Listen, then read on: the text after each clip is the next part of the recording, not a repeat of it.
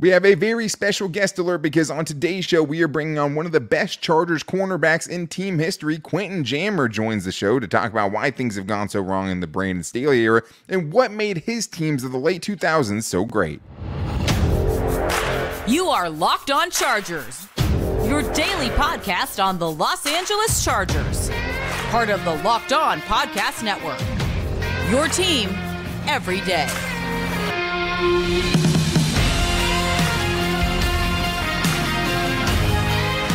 What is up, and welcome into the Locked On Chargers podcast. I'm your host, Daniel Wade, joined as always by my co host, David Drogemeyer. And we've been covering the Chargers together now for eight seasons, but this is our sixth year as the host of the Locked On Chargers podcast, bringing you your team every day. Thank you guys for always making us your first listen. And to make sure you don't miss big interviews like today, go follow and subscribe to the Locked On Chargers YouTube channel and listen wherever you get your podcast from. Super excited to talk to Quentin Jammer, one of the guys that we grew up watching and one of the guys that made us fans of the Chargers once upon a time, not to date ourselves. But today's episode is brought to you by Game Time. Download the Game Time app, create an account, and use the code Locked On for $20 off your first purchase. Here he is, Quentin Jammer.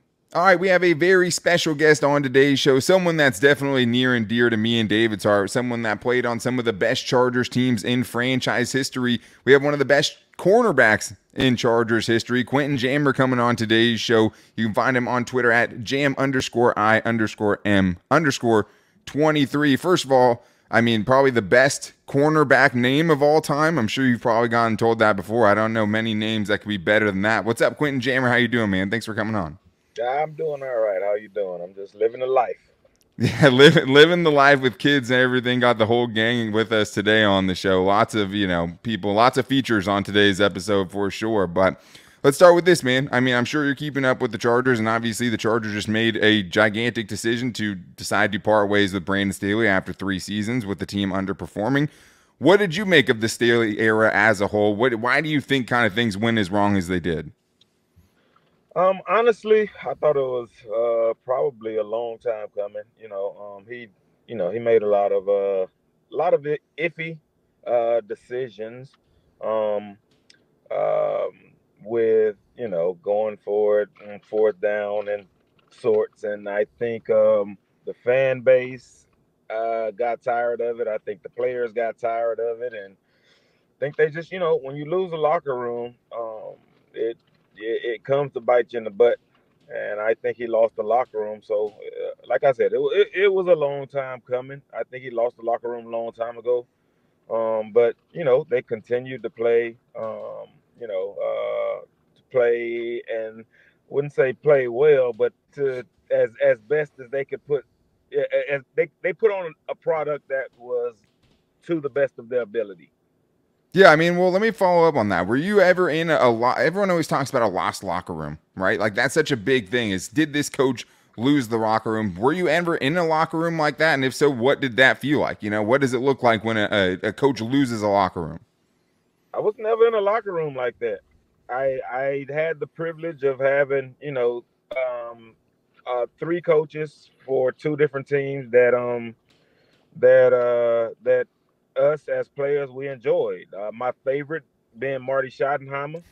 Um, absolute, you know, um, across the board, every player uh, will tell you today that they would literally run through a wall from Marty, and you know, rest in peace, Marty, and rest but, in peace.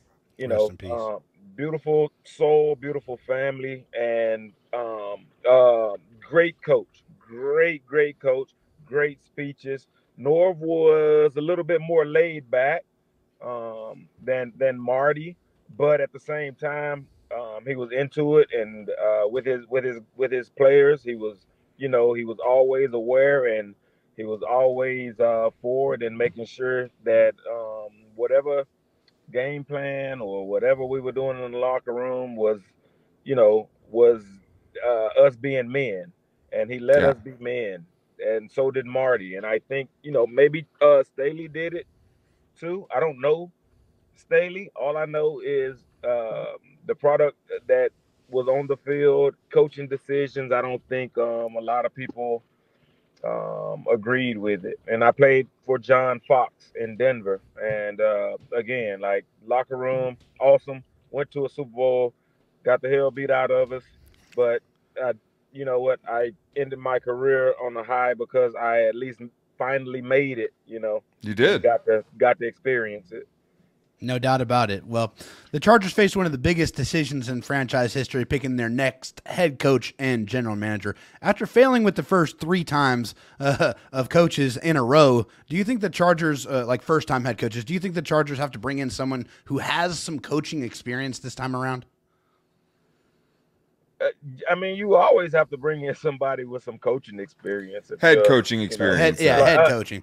Yeah, yes, you have to bring in somebody with some head coaching experience. I, I think um, um, after three goes at it, you know, I think you ha- like the, the the first check. You know, when you checking boxes, is he probably should have some um, some head coaching experience, but I don't know. You know who's out there and who the Chargers are willing to pay. I mean, I know. Yeah. I, mean, what about Jim Harbaugh? You think they're willing to pay Jim Harbaugh? Because I know a lot of Chargers fans want to see that. I'd love to see it. At the same time, um, they still have coaches in their pockets. If I'm not, uh, if I'm not wrong, right?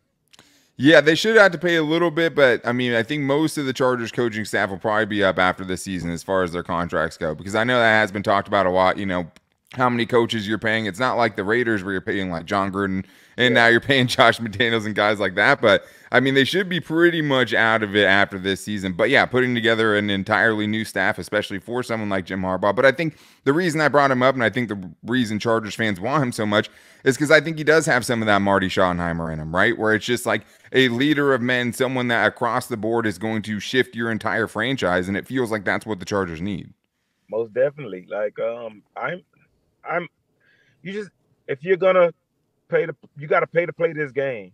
If I'm being honest, you got to pay to yeah. play the game. You gotta you gotta you know you got like there you got if you want to get a coach like Harbaugh, you're gonna have to you you know you're gonna have to go into your checkbook, right? Oh yeah. Yeah. And um and Harbaugh is one of those guys that will come into culture um uh, uh, of the team, and he can do it. You know, it may take him a couple years, but sure. I fully believe he's the guy who can come in and you know and and be um, a, a change for the Chargers. I think so too. And uh, let's talk about you know your years and when you were playing because that is, I mean, my favorite Chargers teams. You know, 2006, 2007, some of those teams. But like the guys you played with, man, like the Shawne Merrimans, LT, Jamal Williams, Antonio Gates, Antonio Cromartie, so many great players. But the one thing I really appreciated from you guys that we don't see now is consistency, right? The Chargers haven't won the AFC West in like 13 years right now. You guys won it four years in a row, right? Like you guys, that was one thing you guys had is every year you were there at the end. You were there not just at the end, but you were winning the division. So what was it about those teams, some of our favorite teams, that was able to give you guys that kind of consistency? Um, our locker room to start with, and again, like I'm not um I'm not passing judgment on what today's locker rooms are. Um, but our locker room was uh, really close, you know, um, and it started right at our quarterback position, you know. Um, Philip Rivers and uh, and Drew Brees when he was here, like they yeah. were always engaged with the entire team, always engaged.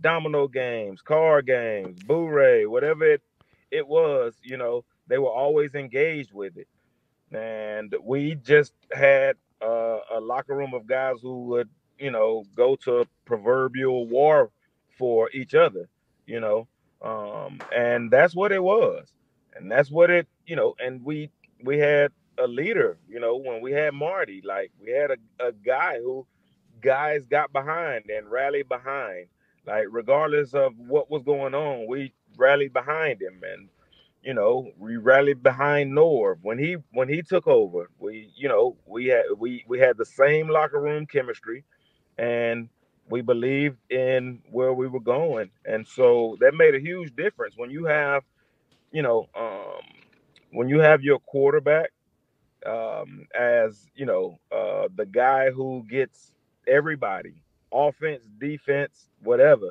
When he can get guys going on any side of the ball at any position, that's you know that that that that's that's the chemistry you like to see. We have much more to get into with Quentin Jammer, including his thoughts on Chargers quarterback Justin Herbert and also why he thinks the Chargers cornerback room needs some dogs in it coming up right after this.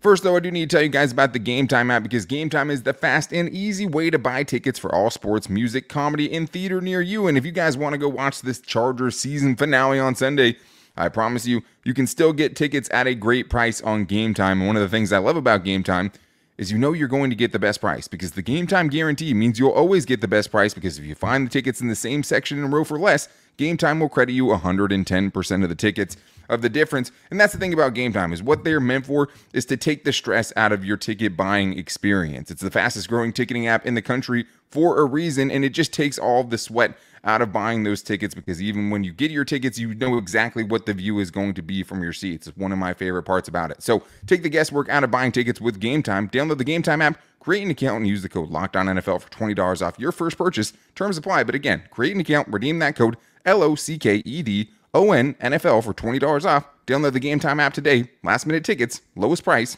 guaranteed.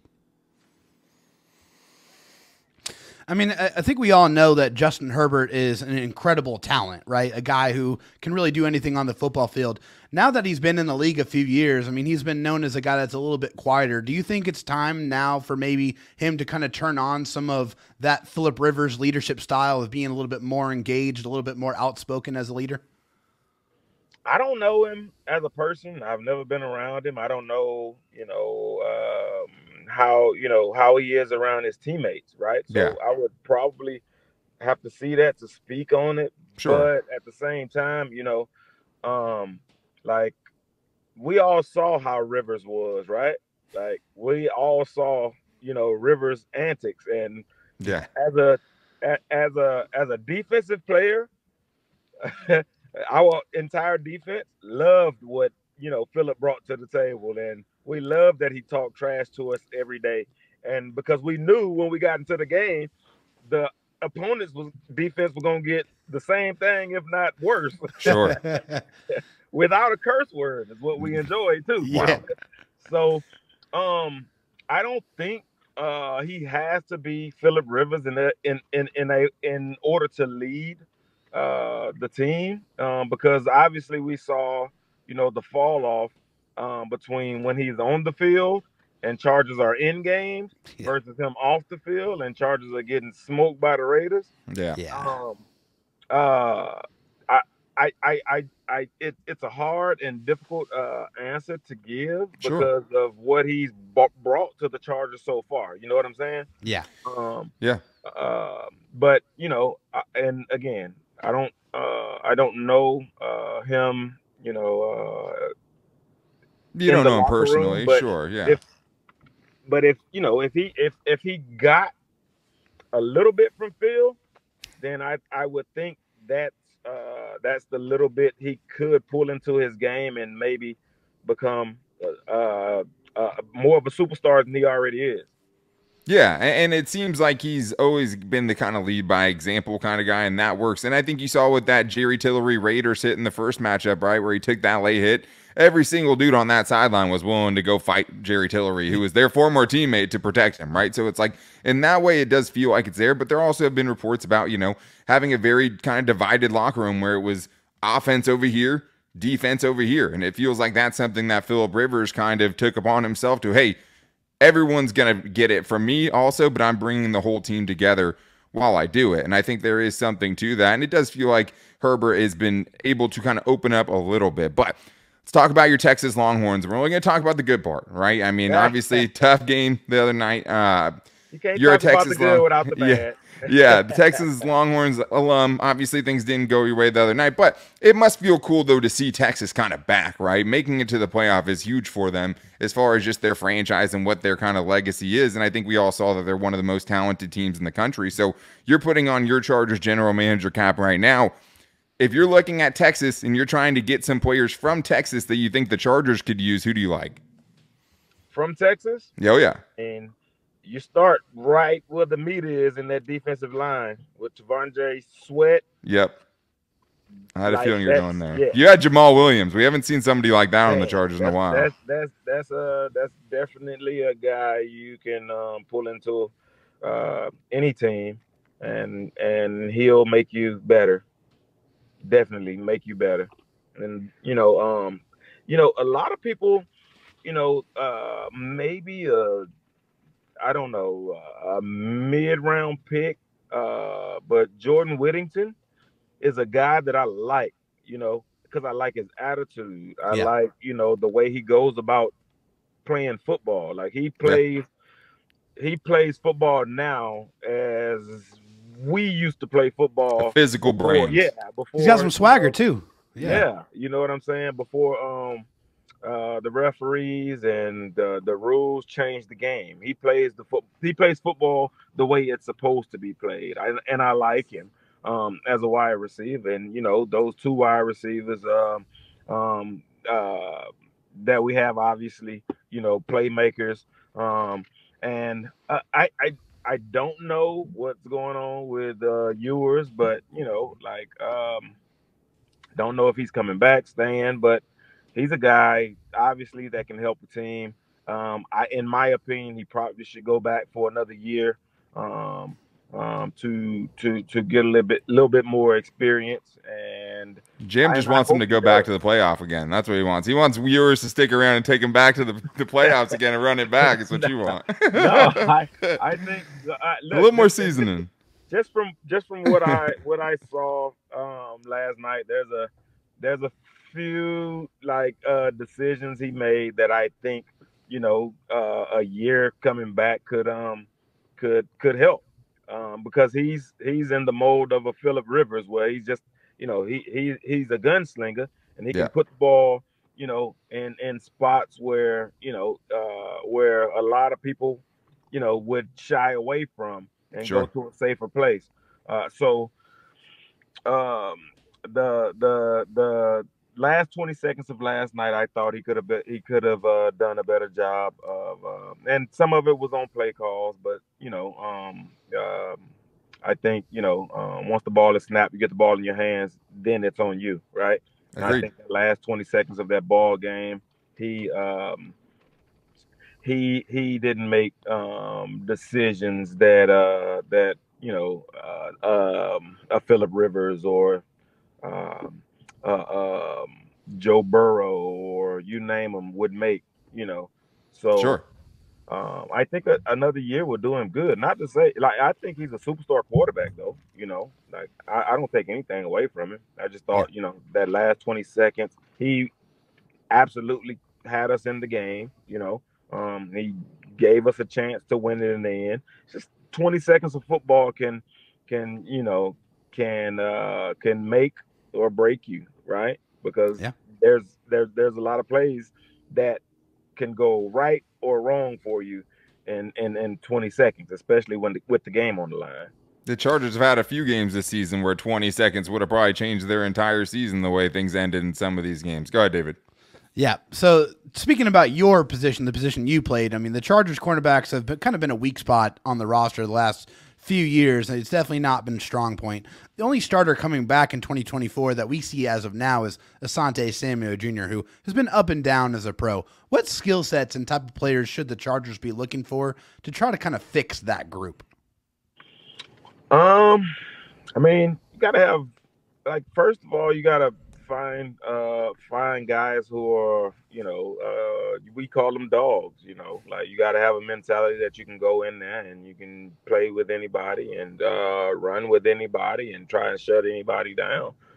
But you know, at the same time, um, the the dogs of the world are getting handicapped by the rules, right? Sure. like they're getting handicapped by the rules so nowadays like just you know you you you want to find a guy who can um basically backpedal turn and run.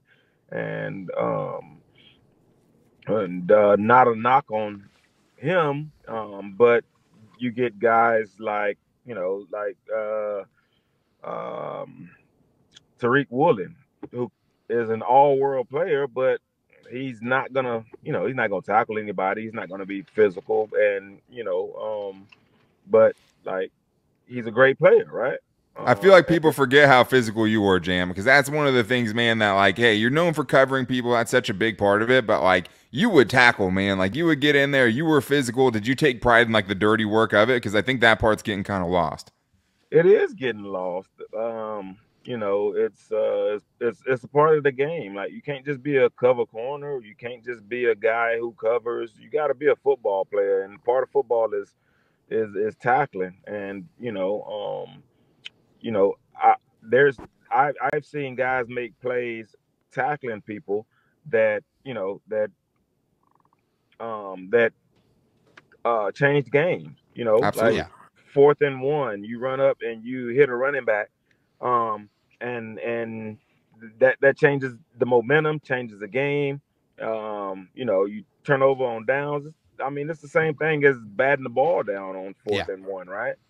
Yeah. Um, so you know, uh, we, we I think you know we need to get guys in that are willing to do the dirty work, but at the same time they can do, uh, you know, everything all around. They can cover, you know, they can tackle, um, they can think because uh, in the NFL, you know, the um, football IQ is big. Yeah. Absolutely, it is. Hey, man, thank you so much for spending so much time with us. I know you, one of your good buddies, Antonio Gates, who you said is the best ever heading into Canton in 2024, getting that first ballot Hall of Fame nod as he should. If he doesn't, we riot. I mean, let's be honest. But uh, he, I so excited to have you on, man. It is such a full circle moment for us. Thank you so much for spending some time with us today. We can't wait to get you back on. You and the whole clan, man. All, everybody in the car can get on next time. hey, you can say hi right now if they want to, but thank you for spending the time. I know you're running around in a busy man, so thank you for coming on, man. Thank you. I appreciate you having me on. Y'all want to say bye? bye? the Jammer crew. A special thank you to Quentin Jammer. Hopefully, we can get him on again to talk about just some of those glory years because there's a lot of guys. We didn't get to talk about the craziness of Antonio Cromartie or the craziness of Shawne Merriman, some certified crazy people. So hopefully, you can get him back on again. But awesome talking with him. But we do have more to get into, including how many defensive stalwarts does this team have going into 2024? How many guys do they have to build around in the new defense in the post Brandon Staley area? Is it just Tuli? Is there more than that? We're going to talk about that coming up right after this. First, though, I do need to tell you guys that the NFL regular season is wrapping up, but there's still time to get in on the action with FanDuel, America's number one sports sportsbook. Right now, FanDuel has a great offer, guys, because new customers get $150 in bonus bets guaranteed when you place a $5 bet. That's it. All you have to do, put $5 in, you place a $5 bet, win or lose, you're getting $150 in bonus bets. So just because the season's almost over doesn't mean you shouldn't still get in on the action with FanDuel because it's the best place to place your bets. And the app is super easy to use, and there's so many different ways to bet. Live game parlays. That's one of the best things I've done following the live games, getting the parlays in in real time after you can kind of see the flow of the game, and finding bets in the new Explore tab as well. Another thing I love are parlays, obviously, and you can make a parlay in the Parlay Hub, the best way to find the popular par- parlays. So you can go through, see what the best ones are, the most popular ones, and jump on those, and they're put together for you already. So visit fanduel.com slash locked on and make your first bet a layup. FanDuel, official partner of the NFL. All right, David, well, it was fun having Quentin Jammer on, but thinking about Quentin Jammer and talking to him kind of made me think about what this Chargers defense is going to be going forward. Because in 2024, a lot of things are changing. You're going to have some guys that are leaving, some guys who are free agents where it's unclear if they're going to resign, but we know it's probably unlikely because the Chargers cap situation.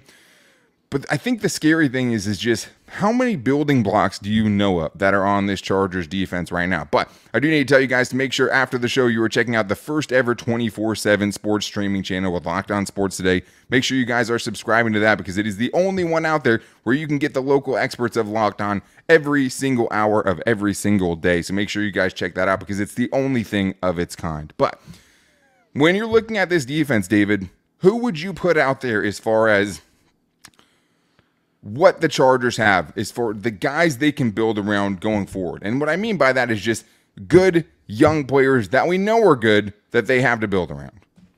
Yeah, I mean, I think the the first name that comes to mind is is kind of crazy, but it's the second round pick from this past draft, It's a the rookie, 2023 yeah. draft. That's Tuli Tuipulotu. Obviously, I think after watching him, he has that dog in him. You know, what like what Quentin John uh, Quentin Jammer was talking about. Um, he has you know that you know, and I think if you saw the the mic'd up, you saw he he gets into it. He talks trash a little bit. That was an awesome mic up. Yeah, It check that was. out, It was yeah. great. You definitely check that out. But he has that in him. He, you know, and he's a, a fantastic run defender already. So early on in his career, a great pass rusher already, and a guy that's going to get even better. I mean, I think we didn't really know what to expect from Tuli before the season started because in college he was kind of a tweener. You know, he changed his body types a lot. He added some good weight, and I think it really paid off this year. I mean, I think you can really kind of bank on Tuli going forward, and that he has a great kind of foundation from where he is at the position. And I think you feel good about him getting even better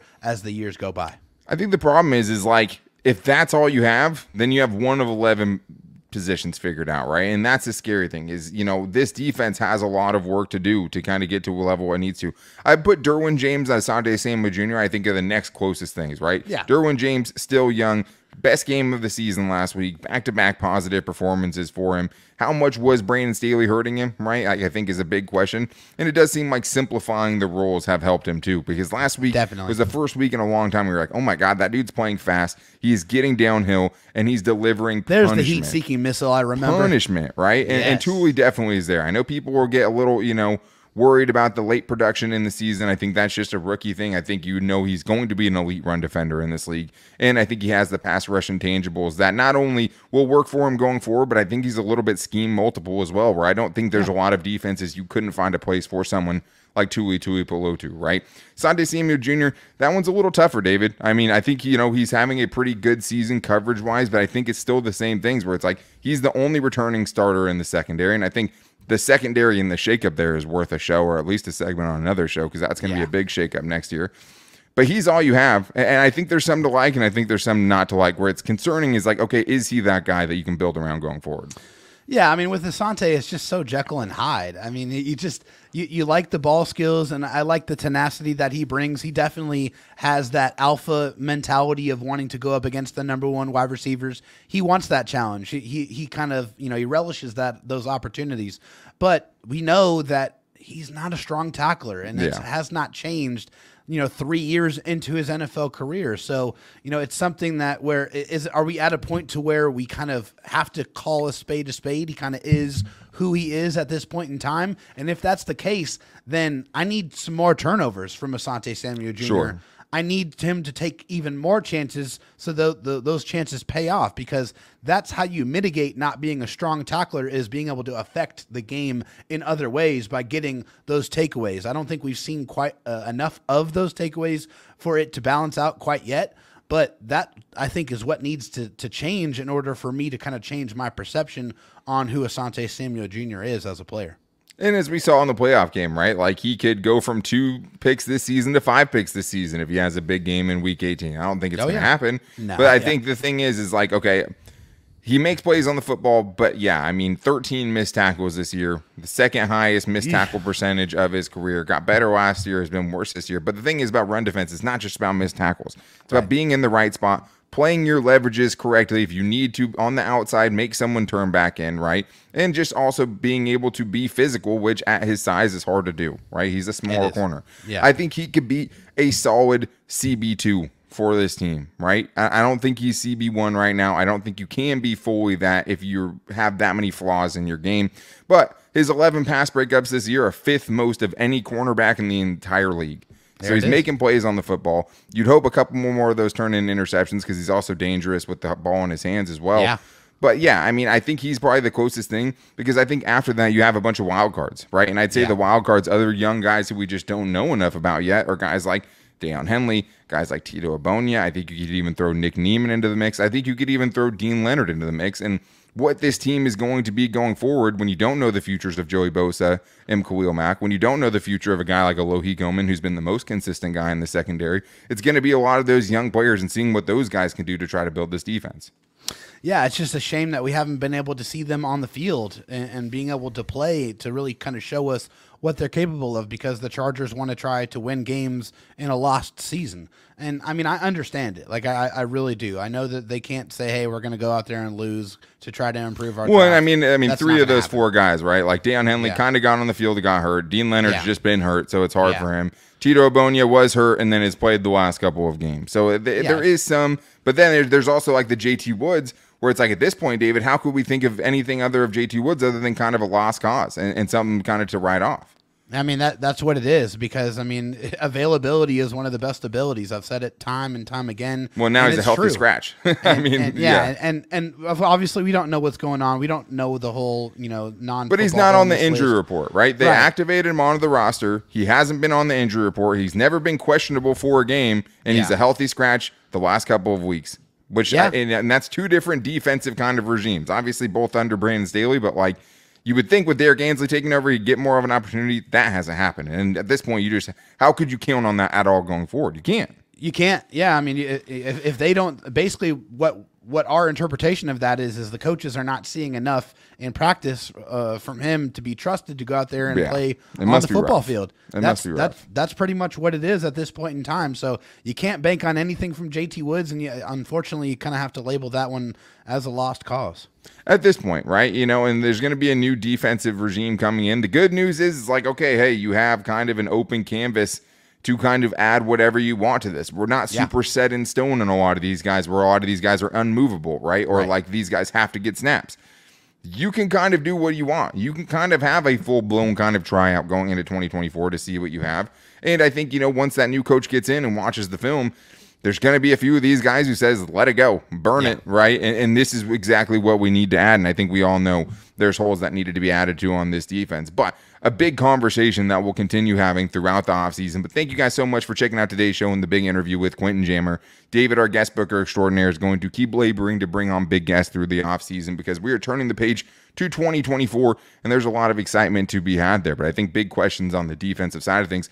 Make sure you guys are back here with us tomorrow because it is crossover Thursday, one of the best days of the week. And David Drogemeyer is going to be joined by Locked On Chiefs to get into the Chiefs trying to ruin this tank for the Chargers and everything else that goes into this matchup. So to make sure you don't miss it, go follow or subscribe for free on the Locked On Chargers YouTube channel and listen wherever you get your podcast from. You can also find the show every day on our social media. You can hit us up on Twitter at Locked On Instagram at Locked On Chargers, and our Locked On Chargers Facebook page. But thank you everyone again for checking out today's interview with Quentin Jammer. We really appreciated having him on the show, but we'll talk to you guys tomorrow. Until then, take it easy and go Bolts.